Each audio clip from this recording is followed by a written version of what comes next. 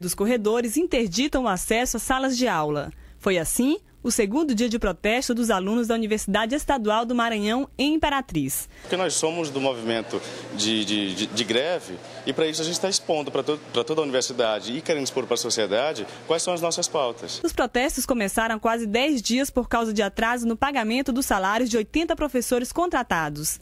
Agora os alunos decidiram engrossar as manifestações e reivindicar por outras melhorias para Imperatriz. Inicialmente, a paralisação dos acadêmicos era exclusivamente em apoio aos professores seletivados que estão com salários atrasados. Agora, eles exigem também do governo a realização de um concurso para que esses profissionais possam ter a oportunidade de permanecer no quadro da Universidade Estadual do Maranhão, em Imperatriz.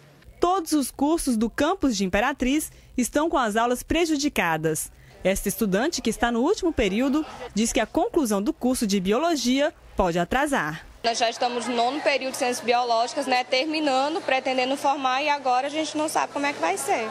O campus da UEM em Imperatriz tem sete cursos e mais de 2 mil estudantes matriculados. Por enquanto, não há previsão para o fim das manifestações.